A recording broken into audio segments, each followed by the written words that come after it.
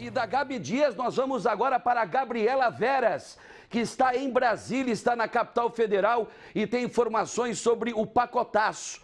É assim que está sendo chamado esse novo pacote de ajuda ao Rio Grande do Sul, anunciado há pouco pelo presidente Lula. A Gabriela Veras está inclusive no Palácio do Planalto, pelo menos é o que a minha produção passou. Boa tarde, Gabriela.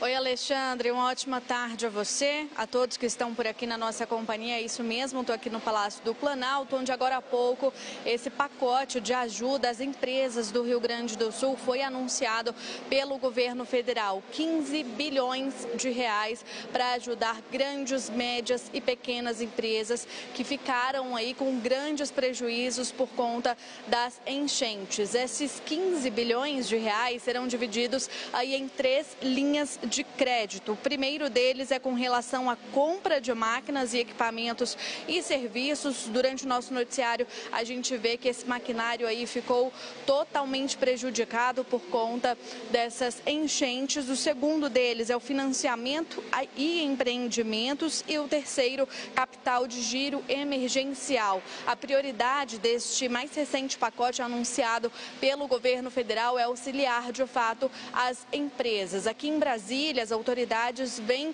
conversando com uma certa frequência com representantes da, dessas empresas do Rio Grande do Sul e eles já tinham trazido exatamente essa demanda aqui para Brasília. Um outro ponto muito importante é com relação à área rural, que também ficou muito prejudicada por conta do nível da água que subiu aí no Rio Grande do Sul. O governo federal também autorizou, a partir de hoje, um aporte adicional de 600 milhões de reais para o Fundo Garantidor de Operações para operações de créditos a pequenos e médios produtores rurais. Um outro ponto que vale a gente passar por aqui para vocês que estão nos acompanhando é com relação à diminuição dos juros da linha branca, da compra de eletrodomésticos. A linha branca é aquilo, geladeira, fogão, máquina de lavar, os itens básicos para ali a reconstrução da casa dessas famílias que ficaram tão ali impactadas por conta desse nível das chuvas.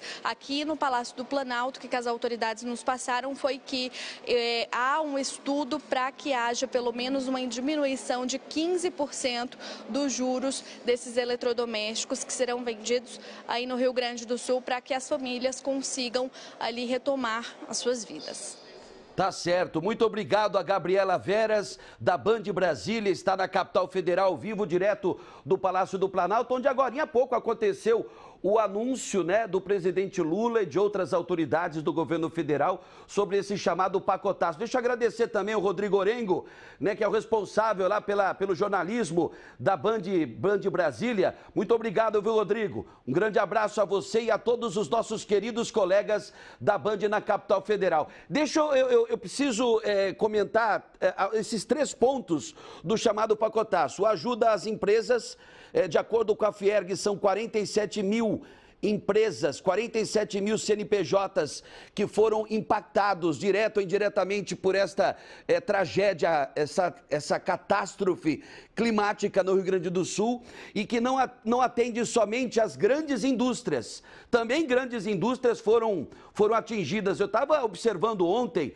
no, na rede social a, a, o prejuízo da, da Coca-Cola que fica né, na zona norte aqui de Porto Alegre, junto à Freeway, naquela região do Sarandi. É impressionante toda a fábrica debaixo d'água. Outras grandes empresas também foram, foram bastante afetadas e elas agora poderão, através desse pacotaço aí, é, receber um auxílio. É, é, já era esperado né, um posicionamento por parte do governo federal sobre essa ajuda, sobre esse auxílio para a área industrial e também, não só, conforme eu falei agora há pouco, não só grandes empresas, como empresas de porte médio, pequenas empresas, microempresas. Agora tem que facilitar na hora do dos juros, né?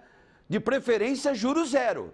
De preferência, porque quer ajudar de verdade, se o governo federal quer ajudar realmente, tem que ser juros zeros. Juro, juros zero, principalmente para aquelas empresas que foram completamente devastadas. E tem muitas. O outro levantamento feito pela Prefeitura da capital, e a gente chegou a falar sobre isso semana retrasada, se eu não me engano, também 45 mil CNPJs só aqui em Porto Alegre atingidos pela cheia do Lago Guaíba e também do Delta do Jacuí. Então, assim, e quando a gente fala de recuperar empresas, não é só salvar né, o padrão de vida dos industriais, do, dos, dos chamados comerciantes, os micro, pequenos, médios, grandes empresários. Não, os trabalhadores que estão né, sendo prejudicados também por tanta destruição nessa área tão importante do Rio Grande do Sul. Então, assim, e a questão da linha branca, geladeiras, fogões, é, máquinas de lavar, lave seca, isso também é importante. Agora,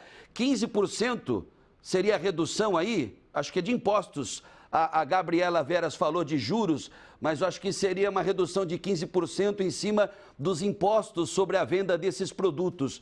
Eu, eu acho pouco. Eu acho que poderia, é, é, poderia eliminar aí mais impostos para esses produtos serem mais acessíveis à grande camada da população que foi atingida e muito atingida por esta tragédia climática. Bom, eu vou chamar agora a repórter Juliana Vieira do